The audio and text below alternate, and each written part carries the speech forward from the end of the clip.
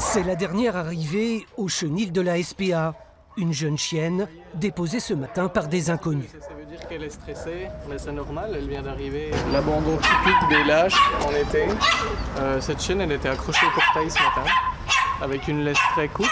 Elle aurait pu s'en mêler, elle peut, elle peut rester étouffée là. Là, cette année, on a vraiment euh, quasiment euh, tous les jours des abandons et on rentre des chiens quasiment tous les jours au refuge. Sur ces images captées par une caméra de surveillance de la SPA, un homme se débarrasse d'un carton rempli de chats. Une vidéo parmi d'autres.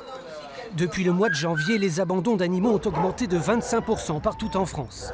Le cadeau de Noël si charmant se révèle au moment de l'été un peu trop encombrant. Les chiens trop vieux passeraient aussi à la trappe. Quand c'est chiot, tout va bien, mais quand l'animal vieillit, euh, à ses naissances, euh, qu'il devient un petit peu incontinent, euh, qu'il a parfois des, qui a besoin de, de, faire des soins vétérinaires, les gens n'en veulent plus, ou alors ils veulent, ils veulent un tout neuf. Officiellement, l'abandon d'animaux est puni par la loi. Deux ans d'emprisonnement, 30 000 euros d'amende, mais les poursuites, même les moins sévères, sont très rares. Ce qui désespère les centres de la SPA qui arrivent à saturation. La générosité a ses limites, surtout avec les chats. Une fois que la bouteille est pleine, on ne peut pas en rajouter.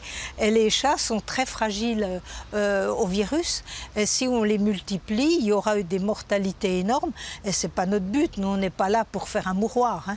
Alors on nettoie bien sûr les yeux, oui, parce qu'il y a des, un peu des salissures, des mucosités, et puis euh, la truffe quand ils sont allés aux souris.